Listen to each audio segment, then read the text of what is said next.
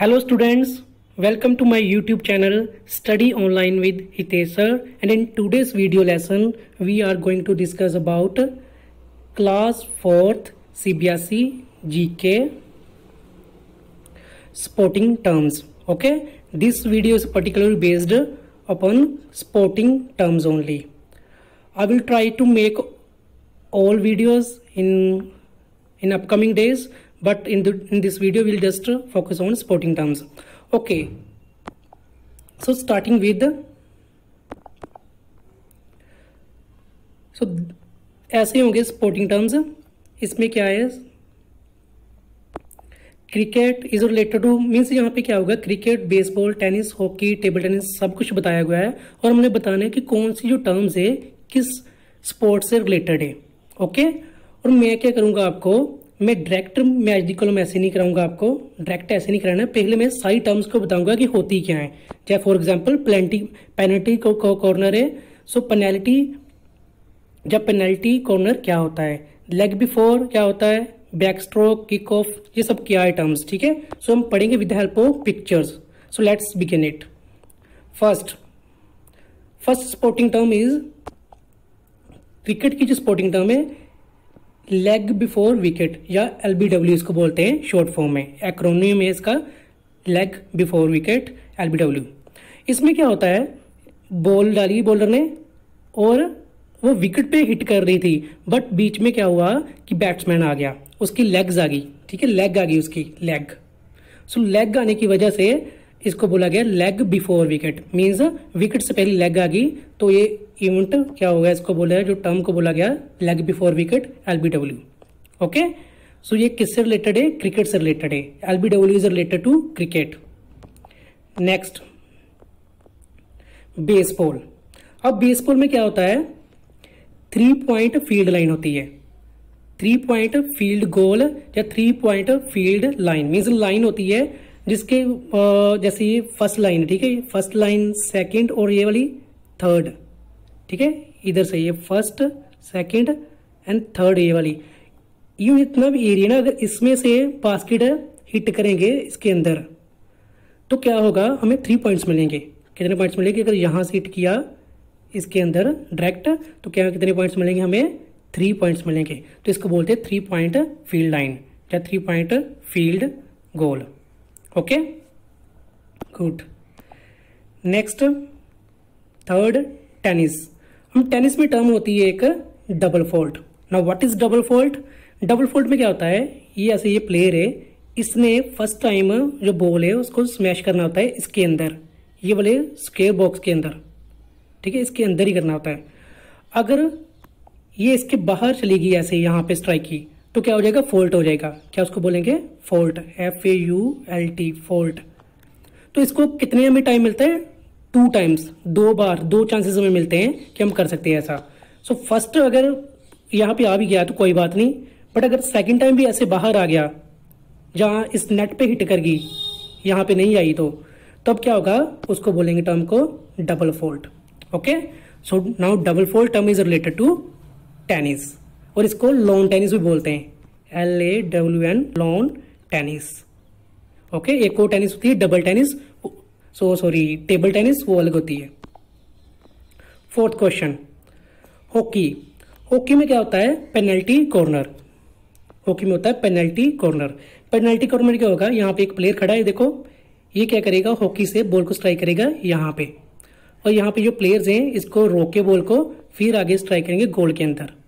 Okay और इसको बोलते हैं पेनल्टी कॉर्नर ये कब होती है? अगर प्लेयर के या से खेल रहे हैं तो ये इनके जो प्लेयर है ऑपोजिट प्लेयर है, इनके पैर पे या बॉडी पार्ट पे कहीं पे भी बॉल लग जाए तो तब क्या होगा, जो पेनल्टी कॉर्नर डिक्लेयर कर देता है रेफरी ये वाला referee okay so that is called this is called penalty corner fifth question table tennis table tennis में क्या होती है एक term pen hold grip pen hold grip नाम से क्लियर हो रहा है कि इसको जो रैकेट है, इसको रैकेट बोलते हैं, इसको कैसे होल्ड किया हुआ है? ये देखो। क्लियर देखो, जैसे पेन पकड़ते हैं ना, वैसे होल्ड किया हुआ है इसको।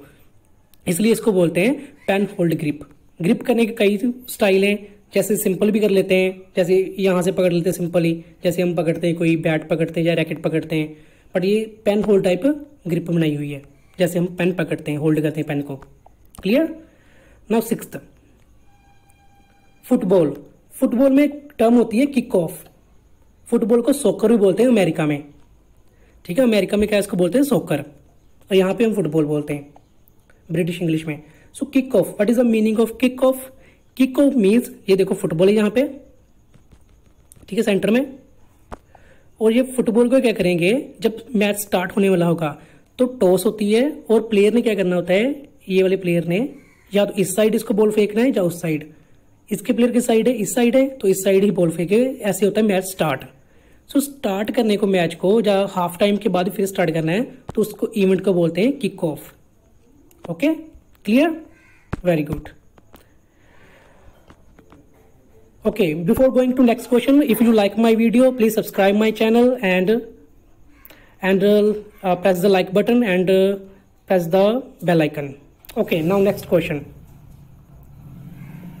swimming swimming term होती है एक back stroke now what is back stroke back stroke में क्या होता है? स्विमिंग देखो, हमने देखा है, काफ़ी बार मूवीज़ में देखा है, ठीक है टीवी पे देखा होगा।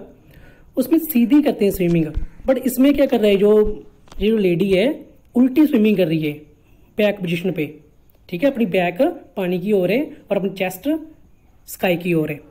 ठीक है तो इसको बोलते हैं बैक स्ट्रोक बैक स्ट्रोक ये स्विमिंग स्टाइल है। ठीक है, काफ़ी सारे स्टाइल होते हैं स्विमिंग करने के। उसमें एक बटरफ्लाई स्टाइल भी आता है बैक स्ट्रोक हो गया, एक नॉर्मल स्विमिंग होगी तो ये टर्म कौन सी है? बैक स्ट्रोक जिसमें उल्टा स्विम करना होता है, ऐसे उल्टा। इस साइड जाना है इसने।